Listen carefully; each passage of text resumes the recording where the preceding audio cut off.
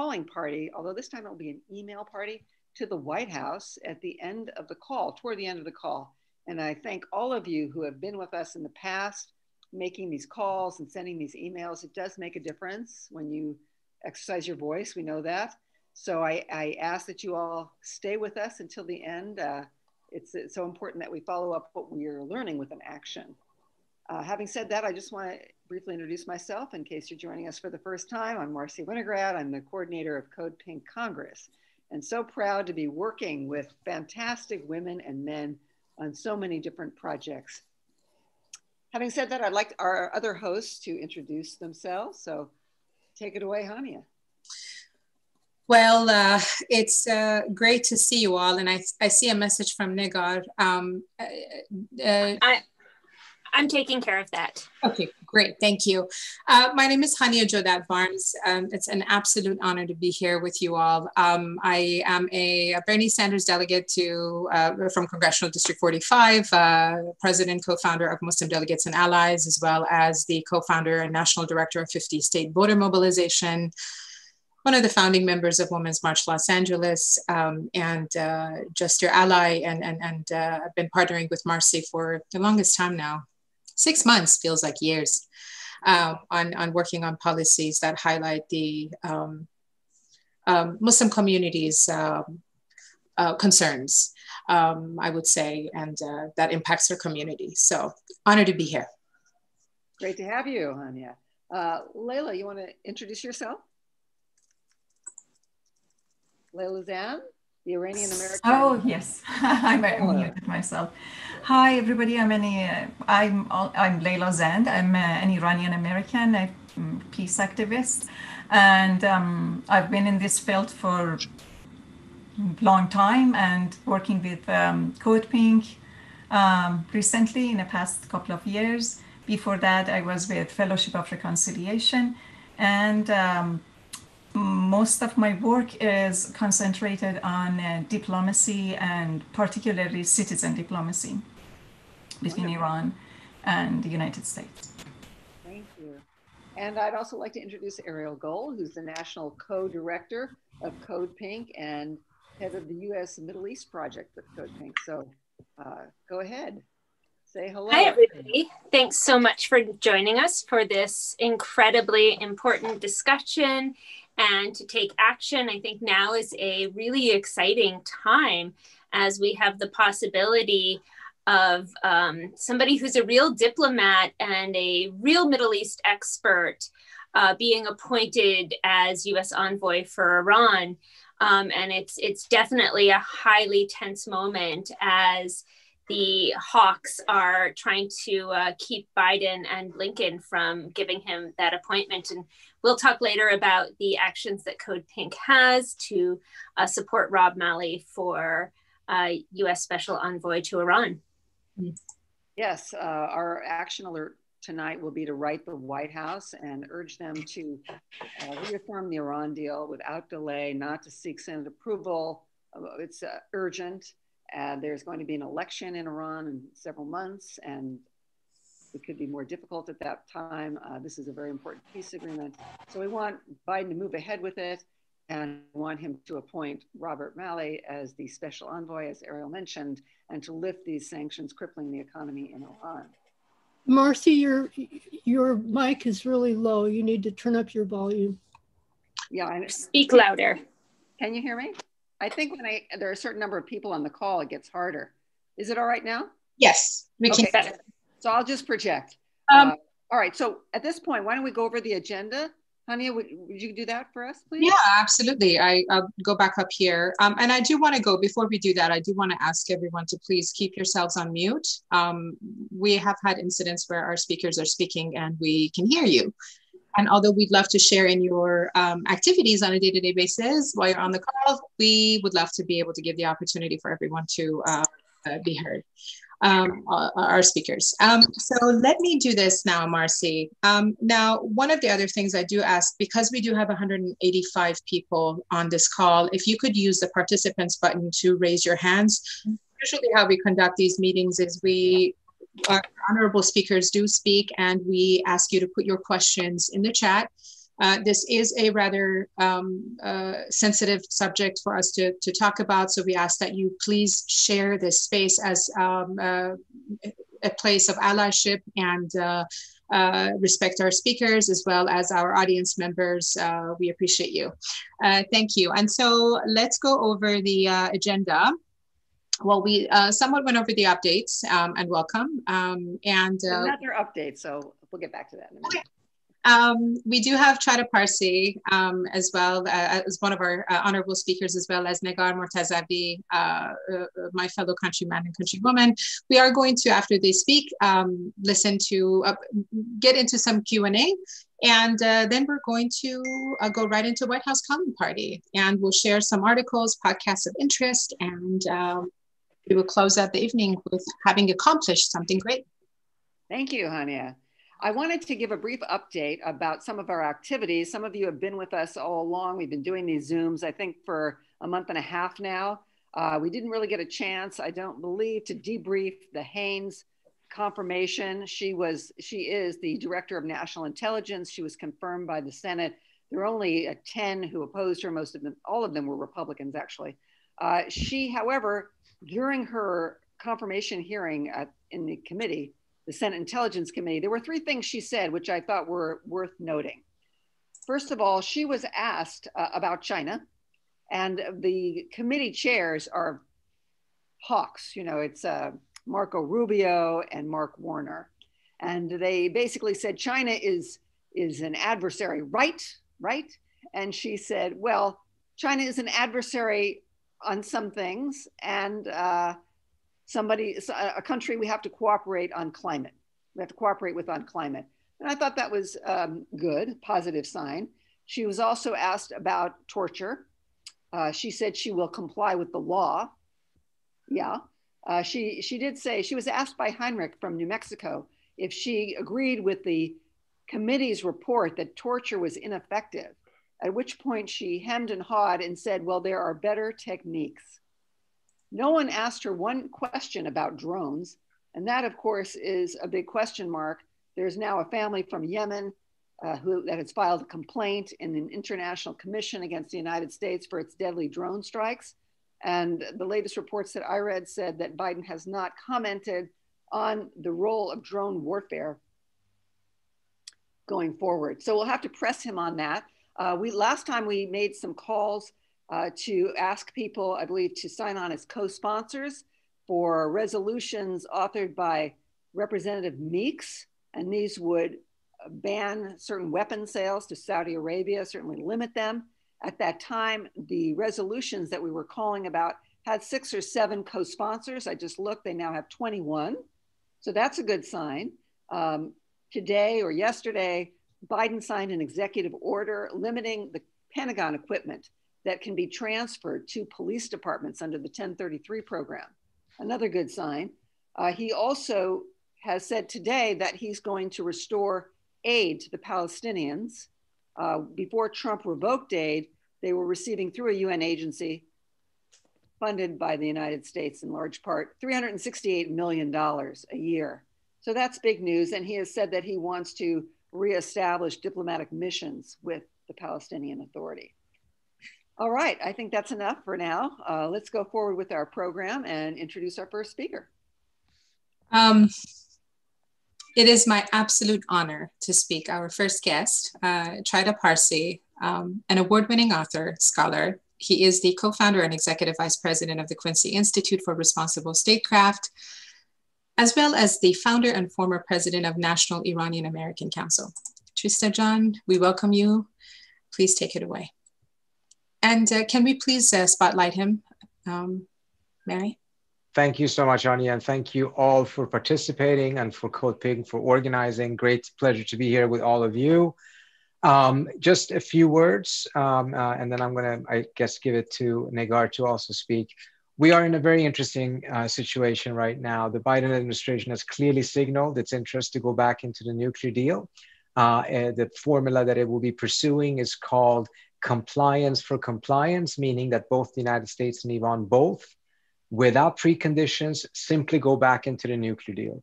And then whatever disagreements or things that they feel need to be uh, renegotiated, can be renegotiated, but once all sides are back into the deal, rather than seeking to do it from outside of the deal by using sanctions and other things that are violating the agreement in the manner that Trump tried to do.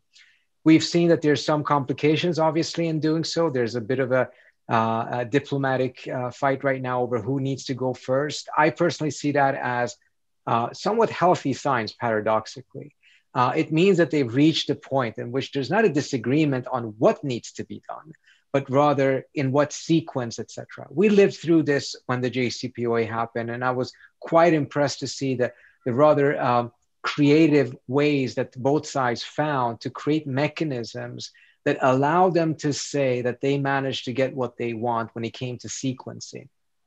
And I'm pretty confident that they will be able to do this this time around as well. The challenge, of course, is that on the one hand, there is a time pressure. You have the Iranian election, elections in June, but also towards the end of February, there's legislation in Iran that mandates the Rouhani government to start uh, enriching uranium at 20% if the US hasn't lifted sanctions. So that creates a bit of a perhaps artificial pressure to move fast, but I'm not so sure that it really is needed. I think there's enough motivation on all sides to do this as quickly as possible. But as we have seen, there is no shortage of opposition from a few quarters. And I want to emphasize a few. The vast majority of countries wants to see this deal uh, reignited. They wanted to see it uh, be the basis of future negotiations. There are essentially only three places uh, in which this deal was controversial or uh, a, a opposition to it existed. It's in, in Israel, in Saudi Arabia, and the UAE, outside of the Republican Party, of course.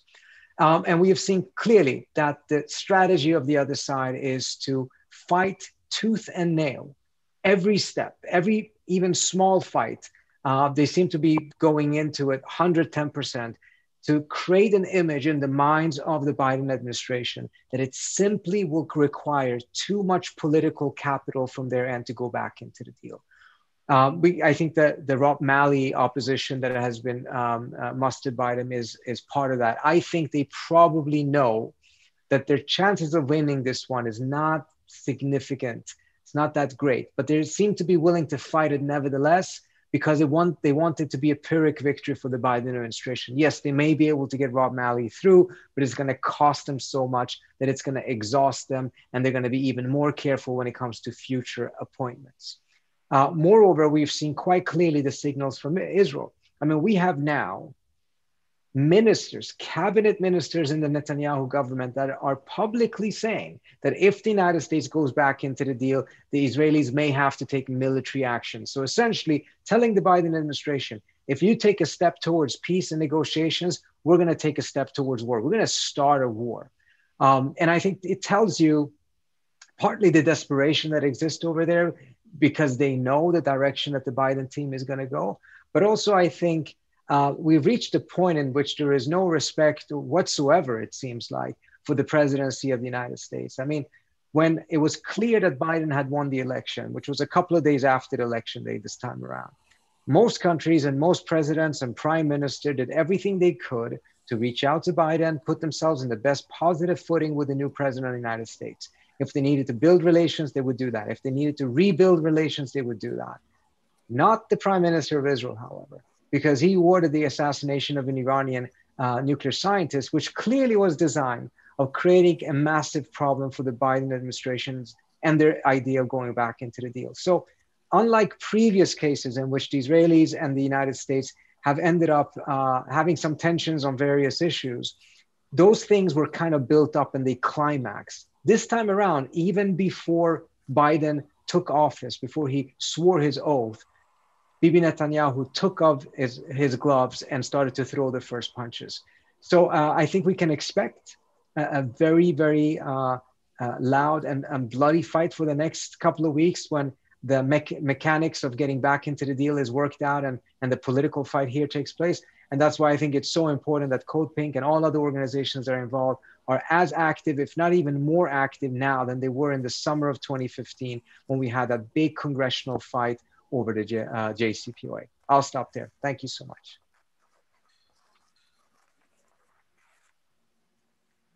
Um, thank you. Thank you very much, Trita. Um, this is Leila. I'm going to introduce, and it is my honor to introduce Negar. Um, Negar Mortazavi is an Iranian American journalist and a political analyst covering Iran. she's the host of an Iran podcast. But before I go further, I want to take this uh, opportunity and thank Negar and say kudos to you, Negar John, because I follow Negar on Twitter and I see every day she gets a lot of um, um, actually attack from the um, warmongers and routinely uh, attack her um, political violence from there because of her stand for diplomacy. Negar has been uh, working as an um, as a uh, covering actually Iran uh, in both English and um, Persian, and um, has previously worked for the um, TV pres- as a TV TV presenters for the Voice of America and worked with uh, International Center of Journalists, National Iranian American Council, the United Nations, and she has been a frequent commentator on Iran and many national and international um, outlets. Um, and uh, also, this, this was, I recently learned this, and it was really amazing to learn that The Guardian has named her as uh, one of the top, uh, top 10 people to follow on Twitter to, um, uh, for Iran issues, anything related to Iran. Um, here we are very honored to have Negar. Negar John, please welcome. Thank you. Thank you so much, Leila, for that kind introduction to Hanieh, Ariel, Medea's not here, and everyone else. Thank you for joining, for your time tonight. And um, thanks for that message of sympathy, Leila John. I really needed. The attacks have really increased in the past four years. And recently, I just want to add that Trita is also one of the top targets uh, way before we were attacked. Medea is also one of the targets, and now Rob Malley has been added to the smear campaigns and the attacks that are constantly coming our way um, because we've been voicing, um, raising our voice against war and pro diplomacy. Um, so, just to add to Trita's comments, I want to also talk about uh, the dynamics inside Iran a little bit because, as, as Trita pointed out, uh, there there's very few countries and the Republican Party here, and then also the hardliners in Iran, or at least part of that hardliner camp who don't want this return to the JCPOA to happen so fast. Um, the presidential election that's coming up in Iran is actually a very critical election.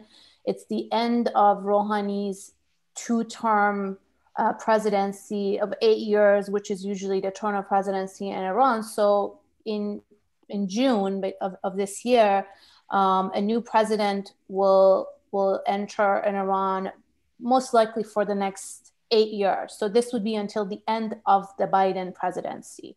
And what we see happening in Iran, even though right now it seems like the consensus in the um, state, and that includes the supreme leader, Ayatollah Khamenei, the top hardliner in Iran. The consensus is that Iran wants a return of the US back to the JCPOA, and they're prepared to scale back basically their violations or their pushing of the limits of the JCPOA once the US does this return. And the sequencing, as Trita said, is important. I can talk about that later. But part of the hardliners camp are also hoping um, to take the presidency come June, and for them to be, or for that camp or the next president, that hardline, potentially hardline president, to be the one making this deal with the United States or um, an easing or lifting of sanctions. So there is some of that internal fight in Iran. Basically, part of that camp doesn't want the Rouhani government or the Zarif team to be the one taking the credit for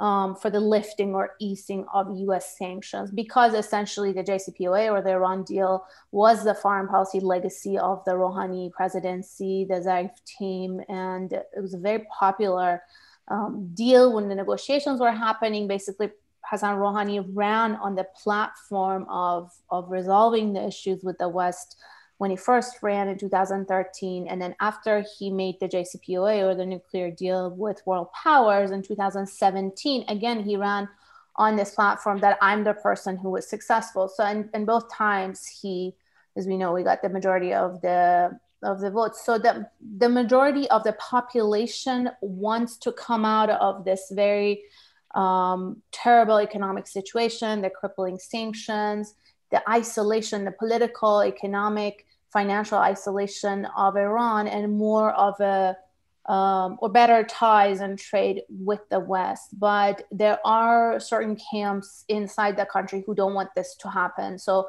sometimes we see alignments between the hardliners here in Washington and the hardliners part of the camp in Tehran that seems like um, they don't want the return to happen as fast, at least. But I think time is of essence.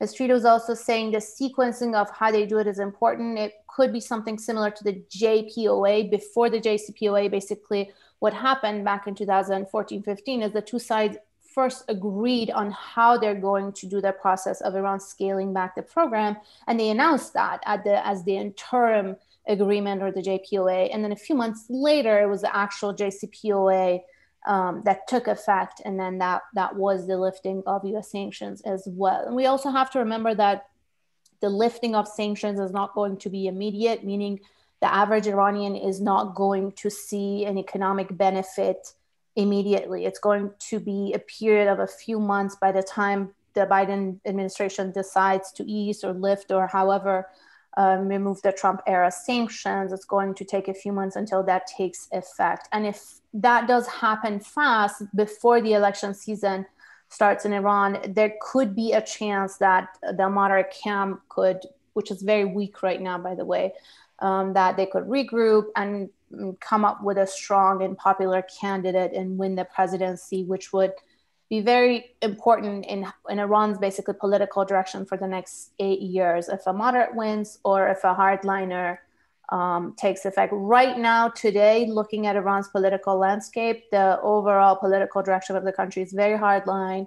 There's also a lot of repression inside the country. Any form of dissent, of, um, of opposition to the government has been very violently repressed in the past few years under the Trump administration or the maximum pressure. Um, and and they, basically the human rights situation is actually pretty bad. So and the overall political direction of the country has become very hardline. And if we look at it today, the moderates have the uh, have, been, have become very weakened, and the hardliners have the upper hand. But things can also change very quickly. Usually in Iranian presidential elections, you don't even know what's going to happen until the last weak sometimes. Rouhani was very low in in um, in the polls uh, in his in um, during his election until his very final live debate. So things could go change could change dramatically in Iran, especially if average Iranians see the economic benefit of of this restarting of diplomacy, and then that could um, change the dynamics leading up to the presidential election. And if that doesn't happen, if the return doesn't happen fast, or the diplomacy, or if tensions increase, um, then we could possibly be basically gearing up for almost a decade of, of, of a hard line um, political direction in Iran. And as we all remember, under President Ahmadinejad, and how the, the negotiations were going with the West. So I'll stop there, but I'm happy to answer any questions about Iran's political dynamics and also what's happening here in DC. And um, just want to add a note about the attacks on Rob Malley. It's just very interesting that it seems to be the same cycle, the same pattern, a lot of the same groups, although more high profile, because obviously Rob is very high profile, but um, it's, it's the same similar smears used against him doctored video of his interview, things he didn't say or he didn't mean, taken out of context, and um, or somebody claiming that Iranian state media has endorsed him. They didn't. It was a reporting of who is supporting him, who is opposing him. So it's a lot of the same methods that um, that we see, and I think we will be seeing um, in the next uh, months or even years. Rob is probably not going to be the last one. Okay, thank you.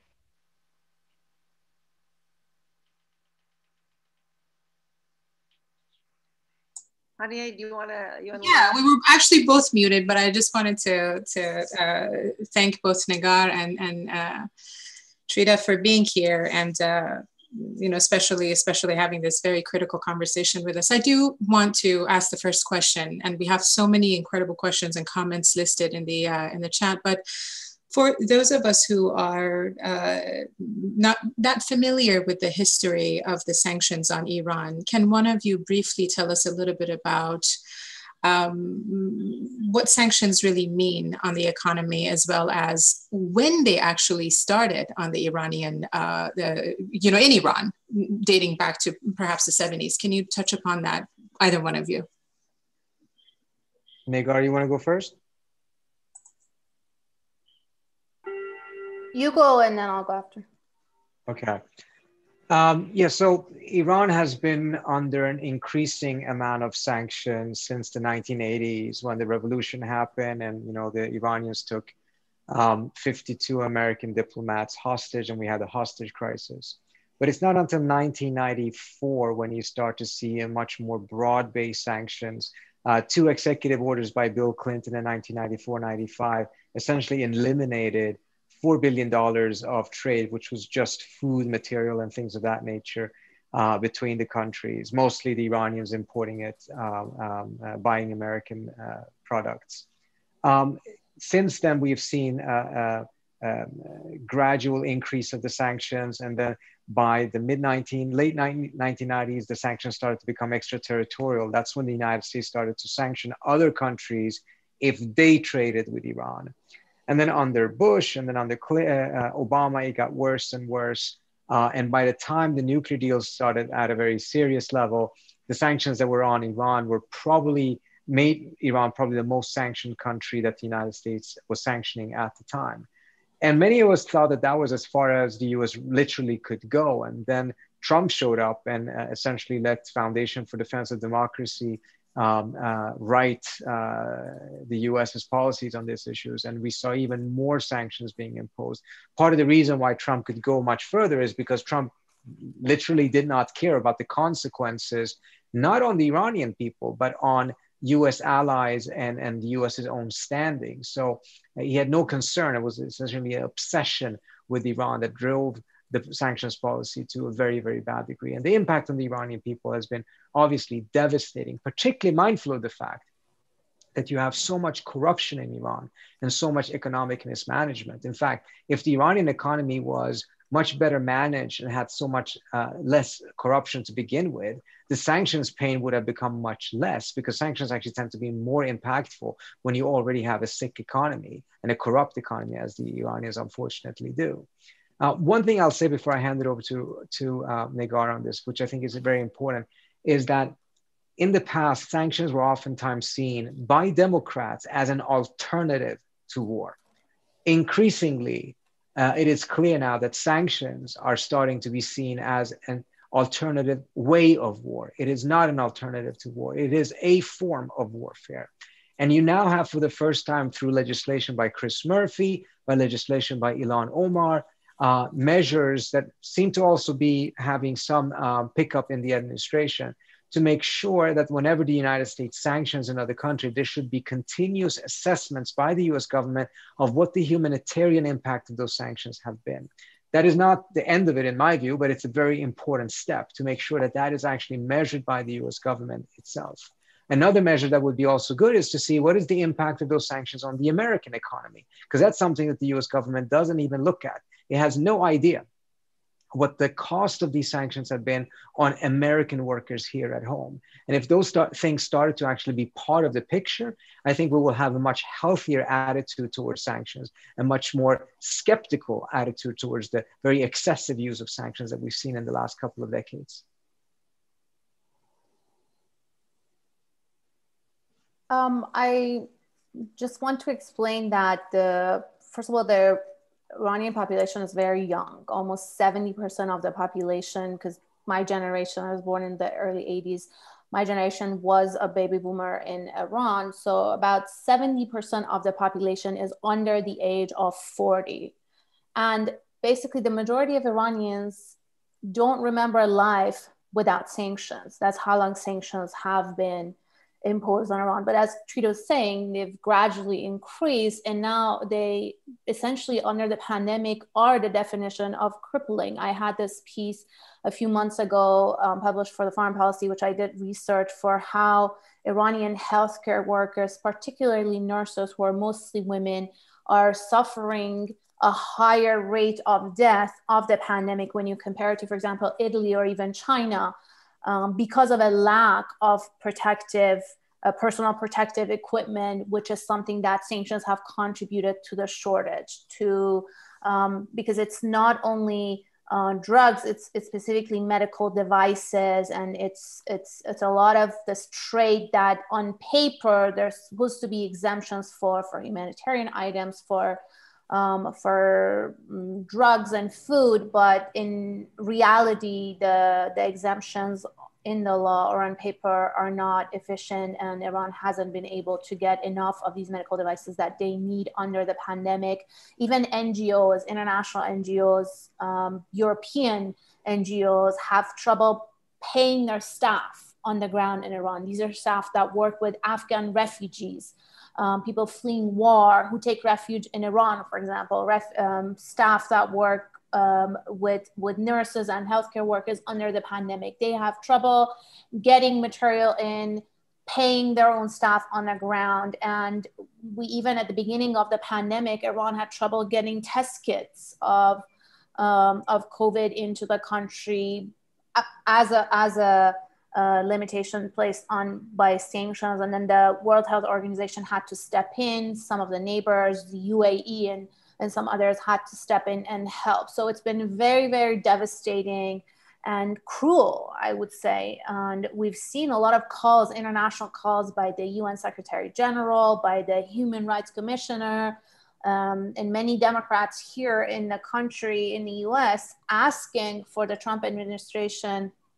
as one New York Times editorial put it, to have mercy under the pandemic, but we didn't see any easy, easing of the sanctions. So I think what's important for the Biden team, and it could be a, a one first step um, goodwill gesture, is to um, to lift some of these sanctions or make sure that exemptions are carved in a way that can open the door for anything related to COVID, be it medical uh, devices, be it uh, the vaccine or Iran's request for a loan from IMF, which as a member they're entitled to. The Iranians haven't requested for an emergency loan since uh, the 1960s. And for the first time, they requested a $5 billion emergency loan from the IMF that the Trump administration basically blocked. And um, there, there could be mechanisms for that so that the money doesn't get into the country as cash and add to all the corruption that Trita was saying. It could be uh, put into INSTEX, the European financial mechanism, that then the Europeans will have full control over how it's being spent, but it could really help the country, which is suffering both from the pandemic as the epicenter of the pandemic in the Middle East, and also from this um, economic hardship that's combined um, mm. with the pandemic. Thank you, Negar. Um, the next two questions, I'll, I'll, I'll put them together, um, is uh, one is from James. Um, what is the significance of the 20% enrichment? And then I know, Trita, you touched upon that at the very beginning of your, uh, your dialogue with us. Can you talk about that possibly and tell us why that is so significant?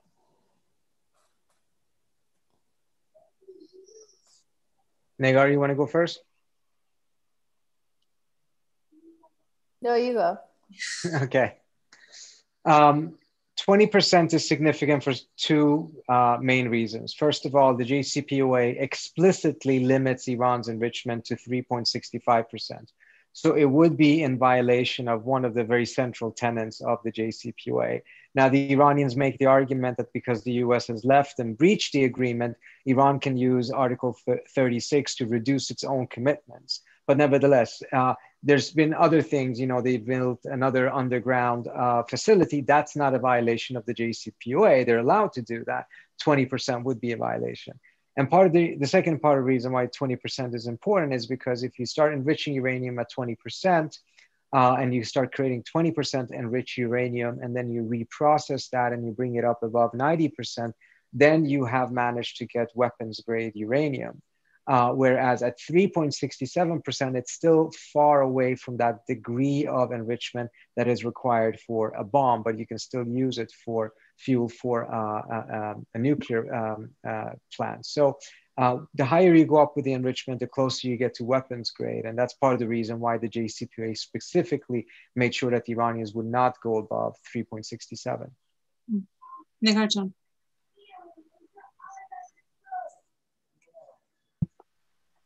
Okay, sorry.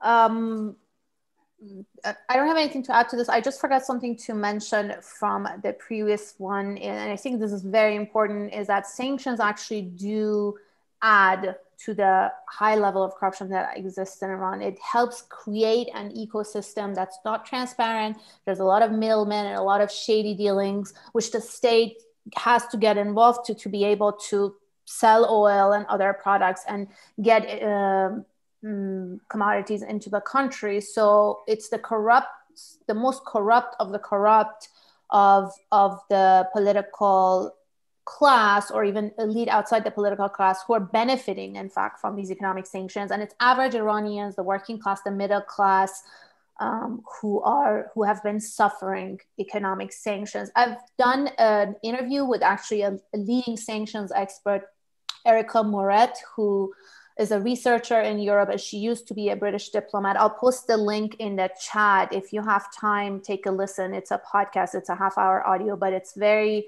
um, enlightening on, on, how sanctions can be efficient as a, effective as a foreign policy tool if they're targeted, if they have a very specific goal, and if they're combined with diplomacy, and how sanctions are ineffective and have these humanitarian impacts if they're just broad and you know, piled on just for the sake of sanctions for more sanctions. Um, the next question is very interesting. It's uh, I'll, pose it to both uh, and Trita. Um, two-part question: Does Iran even want nuclear weapon? I I had heard that Iran wants nuclear energy because they see the end of oil. Is that in fact their policy? I'm not for nuclear energy, but I think if folks knew it right, it may help. So thank you, Nina, for that question.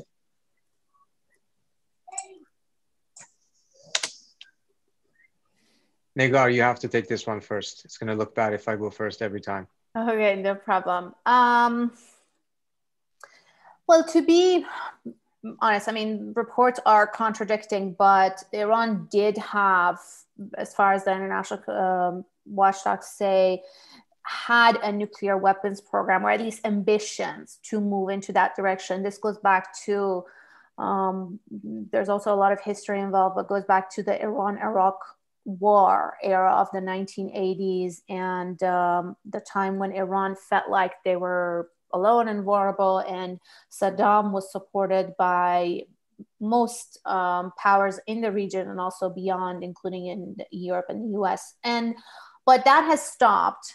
That um, wep- the ambitions or the weapons program has stopped. And Iran has now uh, agreed to the most intrusive sanctions, um, inspections um, regime of, of, a, of a nuclear program. And so far has abided by the deal. Inspectors still go in. They're pushing the limits, but it's nowhere close to a weapons, an actual weapons program. There's also a fatwa, a religious order by the supreme leader um, I mean, fatwas can also always change. So it's, um, but but so far right now, as far as the leadership and the the religious um, direction of the country and also the po- politics of it, it seems like the calculation of the state is that um, they want to have nuclear. Um, civilian civilian nuclear program is actually a source of a lot of pride for a part of the population. They want to have the research, the material, and um, but they don't want to the cat right now the calculations they don't want to go down the path of an actual weapons program Thank you, Negarjan. I see a couple of hands up here. I do ask that if I do unmute that you please keep your questions to 30 seconds or less. Um, and if you have any comments, please do uh, ask in 30 seconds. Uh, we'll go to Sudi. Please unmute yourself. Hi, thank you for uh, very much for uh, being here. I have two specific uh, questions. Uh, if, although the Muslim ban was uh, lifted, the issue that arose at the end of Obama's uh, term with the HR 158 is still in place, meaning that the visa waiver is not applicable to um, anyone who has traveled to Iran and six other countries in the past five years or are not citizens and they're from that country. If you can uh, address what uh, NIAC has done or if you have any insight into that. And the number two is that Biden has, uh, uh you know, insisted on the, on the fact that he will be, um, you know, lifting the uh, country quota regarding green cards and H-1B visas, which could be very disastrous for any country other than China and India. And uh, again, if you could uh, add any insight to that, or if NIAC has done anything in regards to that.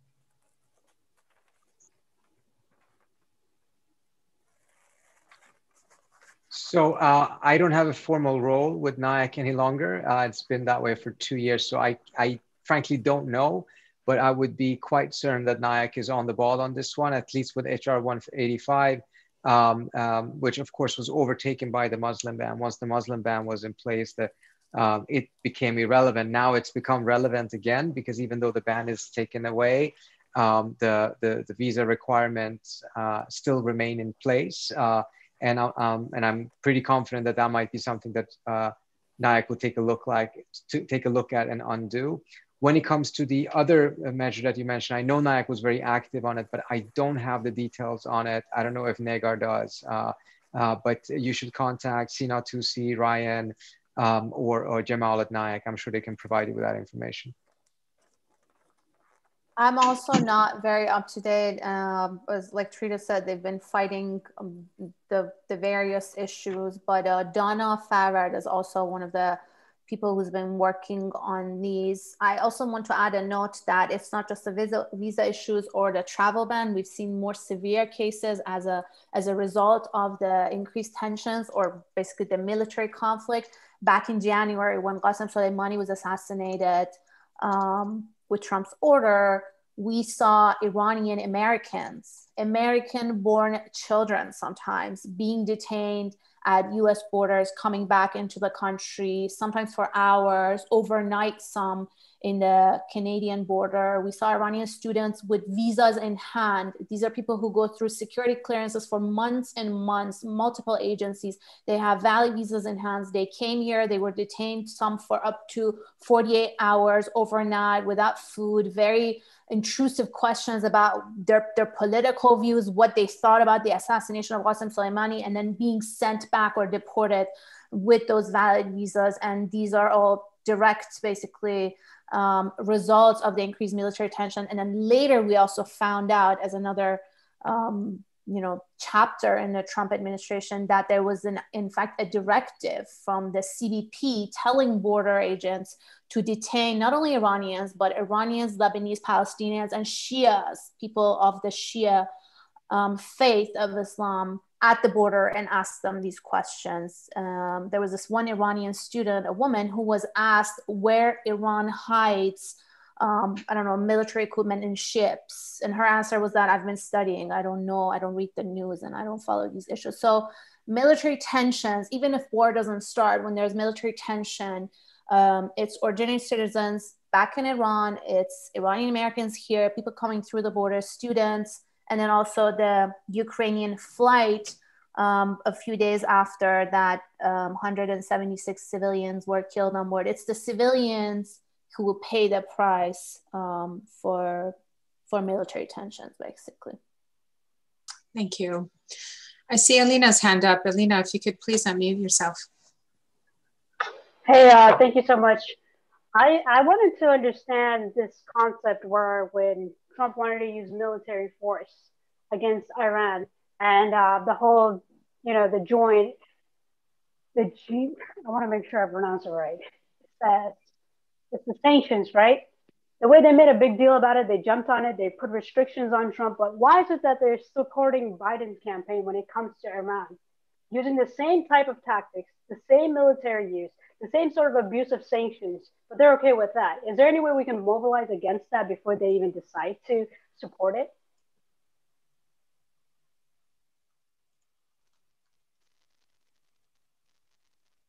I'm sorry, I didn't quite understand the question. Could you could you repeat? Okay.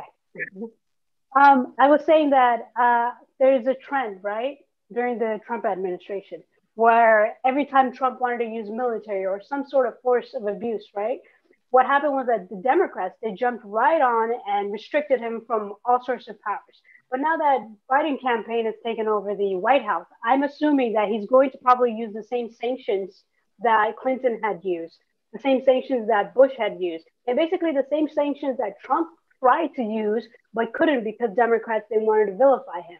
But I'm wondering, is there a way we can mobilize before they even take any actions? Yes, there certainly are. I, I would say though that um, unfortunately sanctions are going to continue to be used. But as I mentioned uh, in one of the earlier answers that there are other measures that are being taken right now to make it more difficult. But I also think that uh, some of the things Code Pink and others have worked for may actually come true rather soon, particularly in, in the case of Yemen, for instance. So I think there's uh, good reasons to believe that some good things will happen as well. And I think it's equally important to make sure that we try to support those things and make sure that they are not reversed because there will be forces, very powerful forces, that will try to prevent the Biden administration to go in the right direction on some of these issues. Negarjan, did you want to add to that also, or should we move on to the next question? Um, no, we can take the next question. I'm also trying to read the questions, see if I can address them. Uh, let's go to Myla. You've had your hand up since the beginning, so there, I've unmuted. Um, first, just a, a, comment and a reminder. Um, everyone, this is the, there's so much extra excellent com, um, content in the chat. I want to remind everybody to save the chat by going to the bottom and if you need help with that, um, that's another question. But I just posted um, just for the purpose of retweeting. Um, Ariel Gold and Trita Parsi and Sarah Margon have all tweeted about what we're discussing here at this meeting. And, um, and just to follow Negar, uh, because uh, I, I don't have a, a anything to retweet, but I just posted. So if you want to go ahead and retweet. Now I have a question. And um, what I'm wondering about, because um, I've been very active in the uh, no nukes movement and in moving towards a, a sustainable clean energy, and I understand that uh, Iran's in a terrible position because without developing nuclear, they're more um, vulnerable to attacks. So, from a military perspective, it's sort of a requirement, but they're poisoning their environment and, and creating other problems, environmental problems, by virtue of having nuclear power. So, um, it, can either of you or anyone here answer if there is a um, a clean energy movement, a safe energy movement in Iran, and a movement uh, against nuclear power because of the environmental consequences? Thank you. Negar, you want to take that one? Sure. Um, so I, I've also posted one tweet that this is going back to some of the smears about Rob Malley that I mentioned, and feel free to follow if you want, as the Guardian says. Um, as far as the nuclear program, it's uh, it's a very it's a matter of national security and also very securitized and and sensitive. So it's not something unfortunately like here that that a lot of citizens can speak up against although i can say the part that the nuclear program has caused caused all the tension with the us with with europe and iran's neighbors there's a lot of resistance to that in a in a considerable part of the population i wouldn't say the majority because we don't have polls polls are these, these type of opinion polls and political polls are also very sensitive in iran not everyone can conduct them um, there's some polls uh, done by the University of Maryland. So just to go short, as far as a very strong and robust movement, no, there isn't.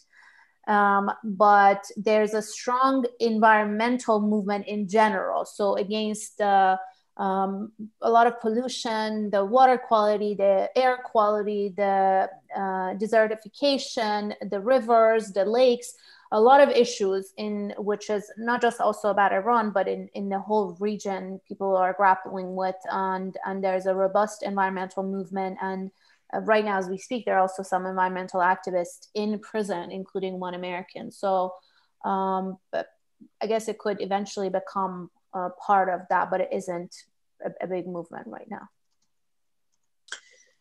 Thank you, Negar. Um, I'll ask. Uh, I, I I see Gigi. I, I is it Goldstein?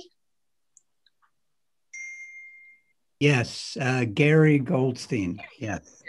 Go ahead and uh, ask. I, I just uh, wanted to make a comment about the 20% uh, enrichment that is far from 90%.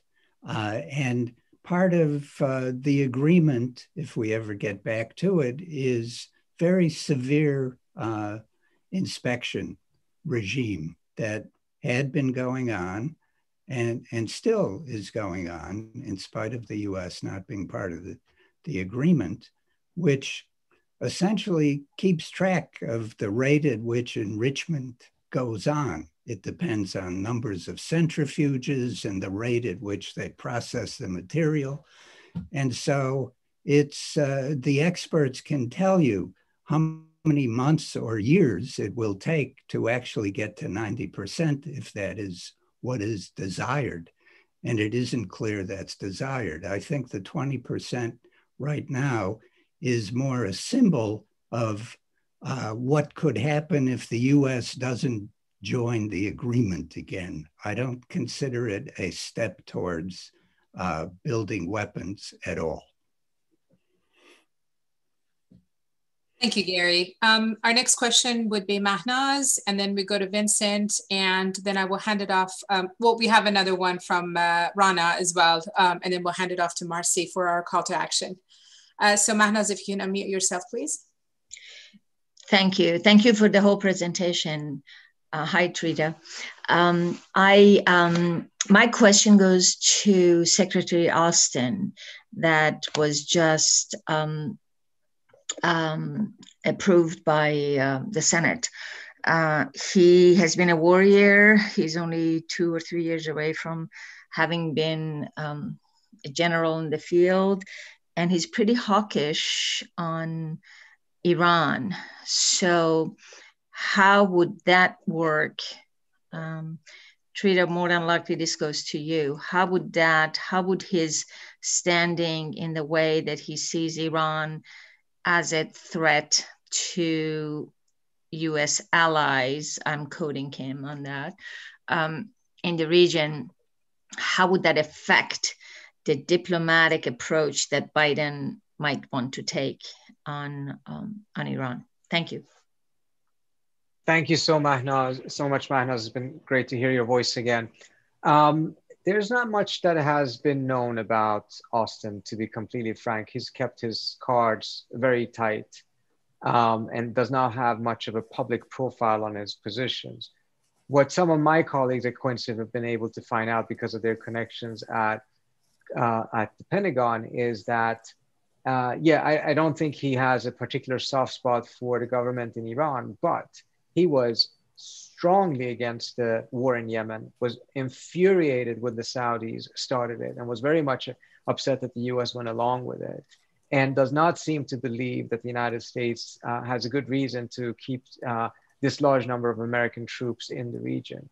Um, and I think that would be a very important and fresh perspective coming to the Pentagon that can have a very positive impact on diplomacy with Iran as well, because at the end of the day, um, it is one thing when you have some of these folks in the military or elsewhere in the government who confuse the US's own national interests with that of Saudi Arabia and believe that it is the task of the United States to do the Saudis' bidding. Uh, it doesn't seem like that he, in any way, shape, or form, falls in that category. And I think that can have very positive uh, repercussions for uh, US foreign policy in the region as a whole, including diplomacy with Iran.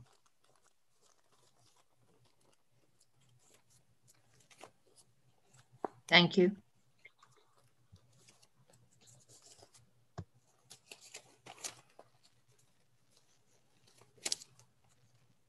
Any more questions? Your mic is off. We cannot hear you. Thank you. Thank you so much. Uh, Vincent, can you please unmute yourself? Yes, uh, since the principal ruling authority in Iran is the Ayatollahs, irrespective of their being a president, I know in the 90s, Ali Khamenei issued a fatwa against the development, acquisition, or use of nuclear weapons, principally based on the Iran Iraq war and the horrible bloodshed and carnage that occurred there. The use of chemical weapons, which simply came from the United States. I am curious what the current feeling of the Ayatollahs as a group or singularly is on the acquisition of nuclear weapons.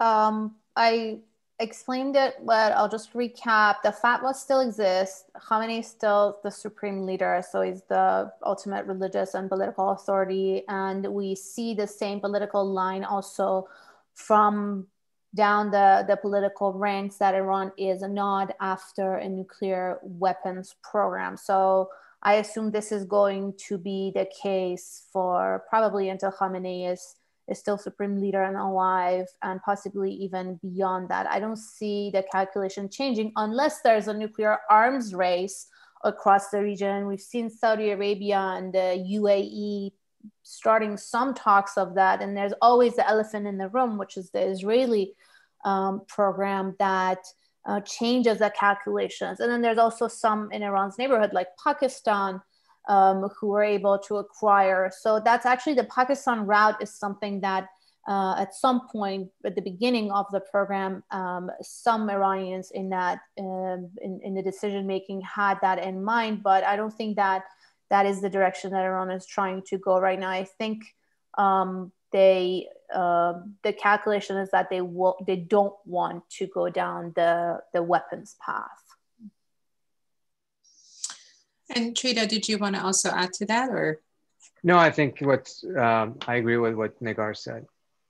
Beautiful. So thank you so much to our speakers, our honorable speakers. Um, I know there are a ton of questions uh, coming up, but we're very short on time. And uh, I do want to, um, again, uh, uh, send my, my regards and thank you to both uh, Trita and Negar for being here, sharing their wisdom with us and participating in this most critical conversation uh, and shedding the light on what's happening currently um, in Iran as it relates to the sanctions and so on. Um, I do want to ask Marcy to please hop back on on. I don't see you, Marcy. So you can. Sure. Thank you all so much. Thank, thank you. You know, thank I, you. Fascinated listening to the two of you, and I learned so much. I hope you can hear me. I learned so much from what you said, and, and I hope that you'll come back and that we'll have more to talk about because we will have rejoined the Iran deal by then. Hopefully. Yeah. Thank hopefully. you. I had no idea about this February. Was it February 5th, the deadline when Iran's going to start producing more uh, or enriching more uranium? I think it's 23rd. Oh, 23rd. All right. Well, in February, yeah. Uh, I'm getting mixed up with the START Treaty, which expires, I think, February 5th with Russia. Anyway, um, you know, I think tonight our goal is to send a message to the White House that we really want them to rejoin this deal and not wait for the Senate. It was so clear to me watching some of these confirmation hearings with the Senate Intelligence Committee and the Senate Foreign Relations Committee that the chairs of these committees are so out of touch with the American public, so hawkish, you know, just salivating for a military confrontation. And I think Biden is smart enough to know, as Obama knew, that there's no point in going to the Senate to approve this deal. The Senate will not approve this deal. A divided Senate like this, I doubt it. So, our message to the White House is to go ahead, ASAP, rejoin this deal, appoint Robert Malley, who was the lead negotiator on the 2015 Iran nuclear deal, as the US special envoy and lift these crippling sanctions, my goodness, right? During a pandemic, even. So, uh, if, if Mary, if you can repost that script in the chat, that would be fantastic. Uh, what usually we call, we make calls, but I have to say that I called the White House today and you cannot leave a comment yet on the comments line. And when you call the switchboard, it says press whatever to leave a comment, and then that takes you back to the to the message that says you can leave a comment, but you can write to the White House. So that's what I'm asking. We're asking people who are on the line with us. Still, how many do we have still? Let's see, 172. Let's all send those emails into the White House tonight. There is the action alert, and uh, let's do it. And please post in the chat when you've sent your email. And I ask that you also, after doing this, see if you can get three or four friends to do it as well and to post this action alert on your Facebook page, whatever social media platform you have, whatever emails you use. Uh, let others know. Let's let's send a lot of messages in because we know the pushback the other way is very intense right now. Hi, this is Ariel, and I wanted to see if Mary, if you could also post in the chat. Um, we have a, a one click uh, way to send that message if you prefer that, if that's easier for you. Um, and if you can share that uh, with your friends and colleagues and ask them to do that as well. Actually, if we can do both, that would we absolutely do both. Yeah, we'll get this up. Marcy, it's Ruth. Um, definitely put it in the chat because it just vanished from my screen and you couldn't uh, copy and paste it either. That's right. That's because Mary is uh, working on putting this other link into the chat. So if you can just bear with us for a minute, uh, you can also just Google okay. Uh, contact the White House. There you go. Okay. So there you have the email address if you copy that and put that in your URL or click on it, you should be able to start writing your email. And I do want to add one thing. There is po- there's power in numbers. So I see uh, we went from 170 um, to 161 now. But I'm asking for everyone to please stay and join this, uh, join in in this call to action because it's extremely critical and important. So um, we do want to stay for that. I've got my phone and I am emailing right now. Yes. And if you've already taken this action, if you've already sent your email, but you're still on the line, we would also encourage you to sign. We have a petition going to support Robert Malley, and you can find that at codepink.org slash Malley or right at the top of the page at codepink.org. And I see Mary just put it in the chat. We are less than 150 signatures away from uh, our initial goal of 5,000. So if you haven't yet signed the petition in support of Malley, please do so now and share it with your friends and on your social media.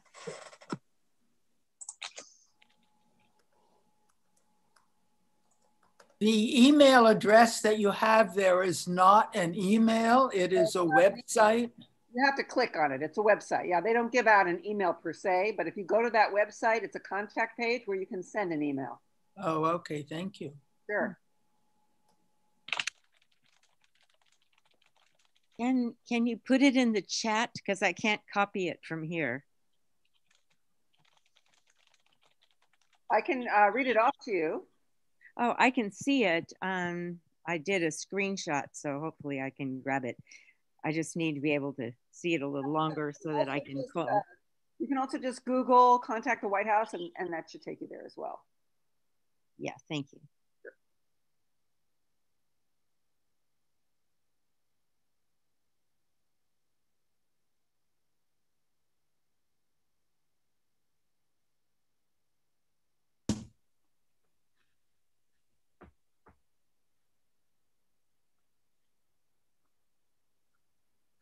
There you go, Gene. I put it in the um, in the chat. It should be uh, show up as a link now. Great, thank you. Click. And if you scroll up back two comments, you should see it.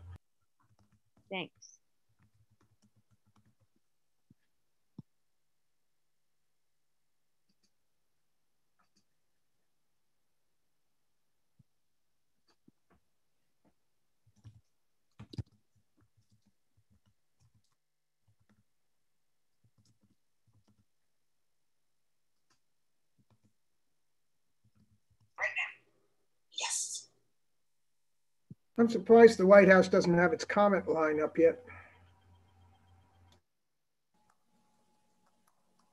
Yep.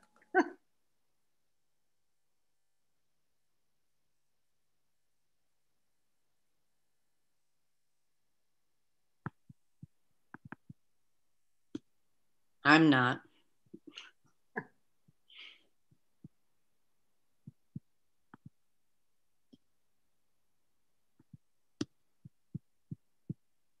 The voice of cynicism, or perhaps realism. well, the the 60, you know, Biden really supporting keeping the the uh, the the 60 majority thing. I mean, come on, he he could have put pressure on on on those Democrats and had some real power. The corporatists have control, and that's the reality. I'm sorry, I won't start. I agree. right. Well, that's the decision the Democratic Party made. I wasn't a Biden supporter either. What happened was South Carolina stepped in, mainly, uh, and frankly, it was a very conservative Democratic co- coalition in South Carolina that just said no. We are not going to have a woman. We're not going to have a person of color. We're not going to have a progressive. We're going to have an establishment white man. That's what we're going to do. And what makes it all the more shocking is that the coalition that saw to it that that happened in South Carolina was led by a contingent of African American leaders inside South Carolina. It was truly, truly shocking. I was truly Right, shocked. uh, Yes, and I just want to make sure everybody's uh, sending their emails. Thank you. I, I agree. I was very disappointed and I worked hard for Bernie. I will say this. It's great that Bernie is going to be chairing the budget committee. Right. You through the process of reconciliation a lot. He can reverse some of these uh, tax cuts, uh, the tax cuts for the rich. Uh, he can, you know, include a lot of stimulus money in that. And you know, I have to say, Biden's executive orders so far, I think, have been ter- terrific. You know, I agree. great. I mean, beyond anything I anticipated. I was reading an article today that enumerated, you know, over a dozen of his executive orders, and, and great. so we just we have to push on the foreign policy because right now there's Yes. um, a gap there. Yeah. My liberal friends think pushing means that you're not uh, for unity. The media has sold that so completely. Oh, they're so naive. That's amazing. It's amazing. Educated, think they're I, I, so discouraging. I, I may lose three friends over all of this. Well, those three friends were never meant to be yours, Mara. Thanks. But but but the question to me is how do we become more persuasive for people like that? Me too. That's my question. So anyone who has answers, um, I, I would just say that you're doing your uh, patriotic duty by letting the elected know how you feel. How are they supposed to know how people feel if you don't express your opinion? That's democracy. That's the public square. Are they saying that there should be no participation? They're afraid that they're But, but, but your friend, with you, for your friend, maybe you can ask them more question than telling them what it is because they have turned, heard about other friends that what it is. Some of them lies, but ask them more question. What do you think about this? What do you do? And then in your responses or in one comment, open, you know, they really stop and think because some of the things that I've never thought about. Well, what I've heard pretty consistently with this group is that to, that to start pushing like a, I, I wanted you know one of uh, the uh, Biden's um, you know nominations the guy who's who has the history um, with the chemical companies and they felt that it would be unsupportive to sign that saying try to resist his uh, appointment because we should just give Biden some time, six months or so, to do what he thinks is best. And Mara, Mara, they don't they don't know Biden's history. No. Perhaps if you as Yeah, that's a good idea. I could give them that. I could. Yeah. Give them, that's a good They idea. have to know more. As, as Monique, I said, they need to know more. And the way to do that, I think, is the questions. Right. Right. And also, Biden has appointed people that, for whatever reason, some of them connections, some of them Obama, and all of that. But it's our job and responsibility to put pressure on them consistently on all the issues. We are concerned about the issues, not the relationship that these people have or what they, how they came to the to be in position that they are. Our responsibility, the public's responsibility, to stick to the Constitution and just press them. And, and in, um, uh, do we still need to keep this up? Have most of you sent your emails? Yeah, um, I have a question for Ariel. Okay, maybe uh, you can mute yourself just one at a time. Uh, Milo, what did you want? Well, I, I was just trying to send this um, letter that Code Pink makes so easy to send. Mm-hmm. And um, it, it, has you edit the, the, their proposed letter before you send it. And at the end, it says sincerely, and then it says your name. And I'm wondering whether we actually have to change it to our name or whether that's automatic because our name is up in the, you know. I don't know. You just put your name. Mary, Ariel? Coded? Ariel or Mary, do we know if it's coded already through the? Oh, you're talking about the petition. Oh, I thought you were talking about the other. No, I'm talking about the um, signature. I had, I had linked to um, Ariel's link about um, taking action on Rob Malley. Um, did did you see that? Uh, I, I, hope everybody, because I hadn't yet um, taken action myself to sign the petition. The and question then, is whether we can fill in our name. I wasn't. Whether we're, whether we're supposed to change it or whether yeah. that's automatically changed to our name. I don't. I believe. Sorry, I believe it is automatically filled in. I hope so. 29 minutes ago. There, there is a list. There is a list of names that have signed that's immediately updated. So I don't think you need to actually edit the letter.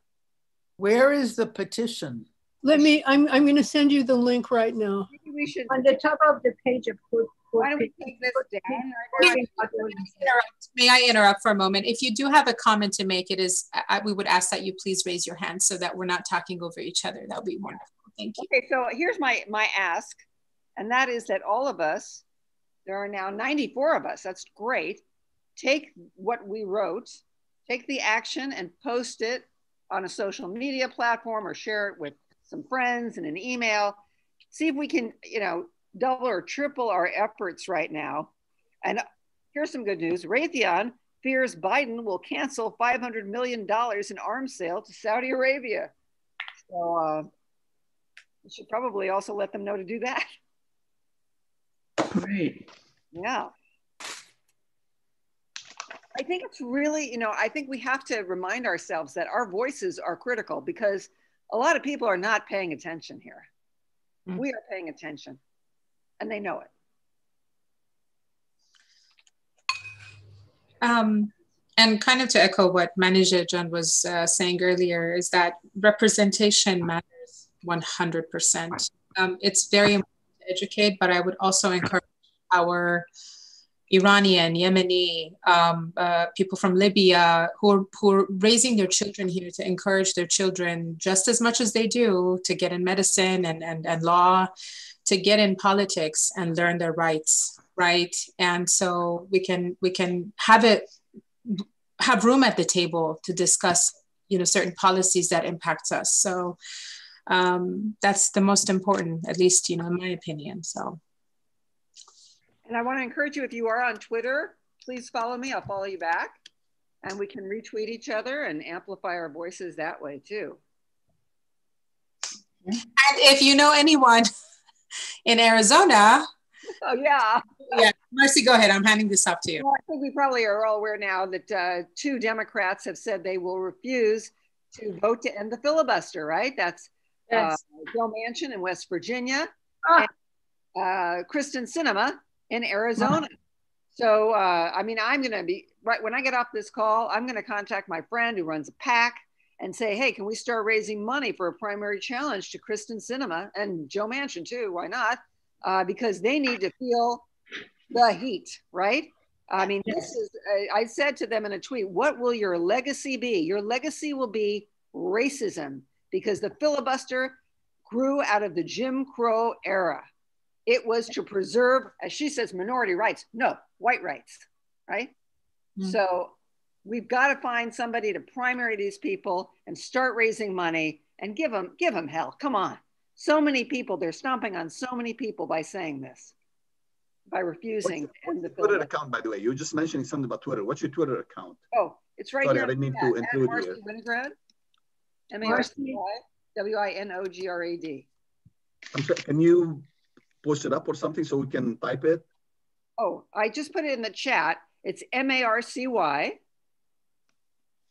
Winograd. W I N O G R A D.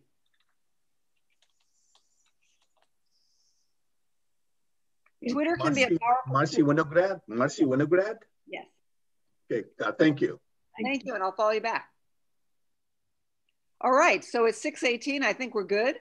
Yes. I was going to show a video, but I'll save it for next time. Next time, we're going to be talking about Russia, the START Treaty. It expires February 5th. So if you have an extra minute, send another email to Joe Biden and say, get on this. It's going to run out. This is essential. We've got to re, you know, re-up on the START Treaty. And uh, Victoria Nuland, who was his pick for number three in the State Department, said publicly she wants just a one year extension. Biden has said he wants a five year extension. Why doesn't he want an eight year extension? He's going, you know. So uh, I, that would be my message to him. It should be an eight year extension. Uh, and uh, Victoria Nuland, if you're on Twitter or Facebook, check out Code Pink. We've got a video uh, of her. Mary, can we play the video? It's short. Sorry, is that the Victoria Nuland video Yes. that Michelle Okay. made? Hang on. Here we go. This this has gotten uh, over 10,000 views on Twitter. You will be entertained.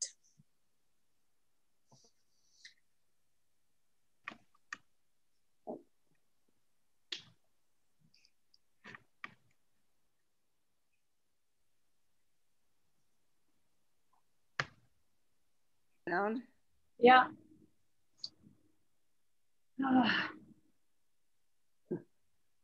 Um,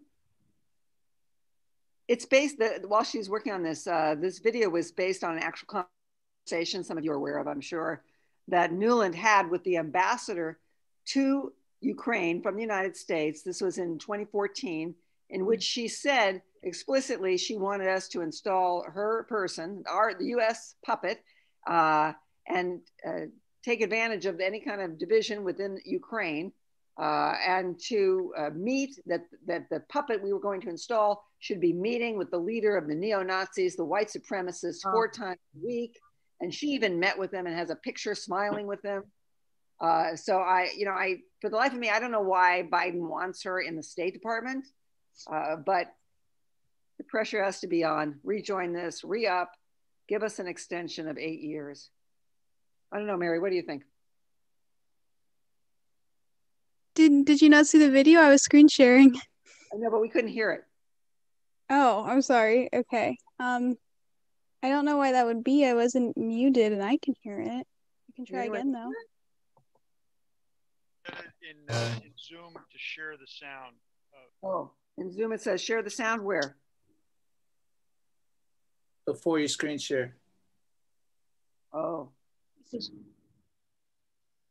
I hadn't seen this. Okay, thank you. Sorry about that. I'll start over.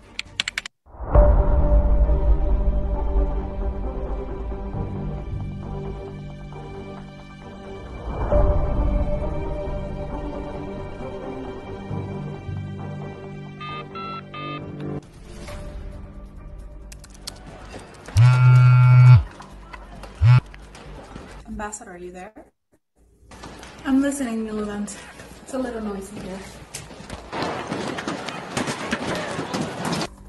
My plot to overthrow the elected president is working beautifully. I want our neo-Nazi friend on the outside help us install a US puppet on the inside. Yeah, neo-Nazis should be consulted four times a week until our guys in. I'm not sure the European Union will go along with every detail of your plot. The EU. Wait, did you say? I said I want a coup. I want to expand NATO up to Russia's neck. I want the US to rule the world. So let's send more weapons to those guys in Ukraine.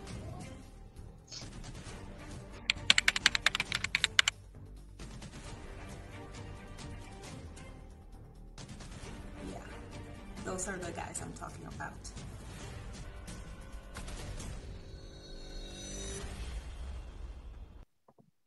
So yes, it's gotten a lot of views, 10,000, over 10,000 on Twitter. Thank you, Mary, for sharing that. And, uh, you know, she's going to be third in line behind Antony Blinken. He's the you know, head of the State Department and Wendy Sherman, who did negotiate the Iran deal with Robert Malley.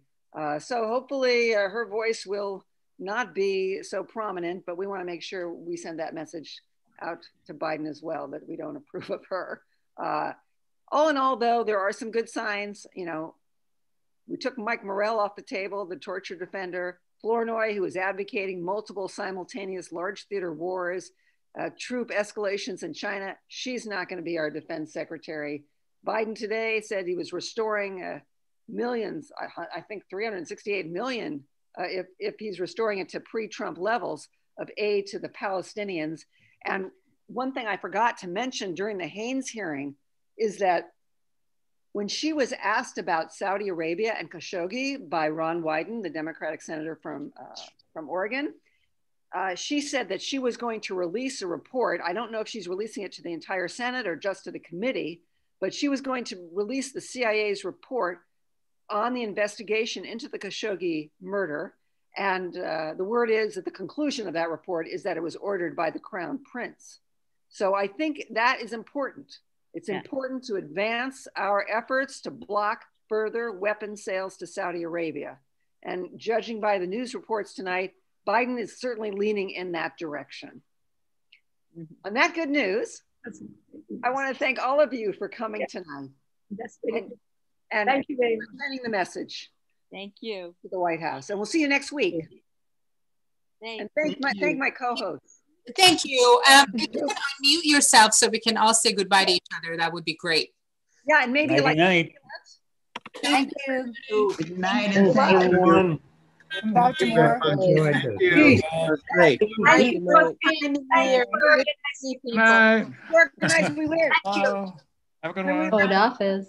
later. Code office. See you later, alligator. Hmm. Nicely done. Thank you. Thank Thank you, Courtney, for organizing this wonderful conference. Oh, and also, if you want to, if you want to see it again, it's on my Facebook page, Marcy Winograd, and in, oh. a, in a day or two, we'll put it up on YouTube, and I will send out that link. If you're in our Google group, if you want to be in our Google group and you're not, just send Mary an email, Mary at codepink.org. Okay. Mary. Okay, great. Thank, Thank you. you. And we will be sure to save the chat this time. So good. not close this, Marcy, so we I'm not closing anything. Thank you very much, Hanieh. You did a great job. Yes, isn't she Thank you.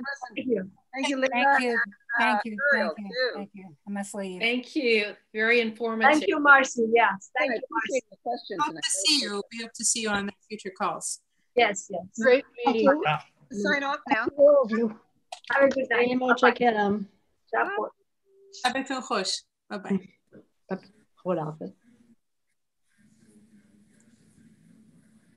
Tanya.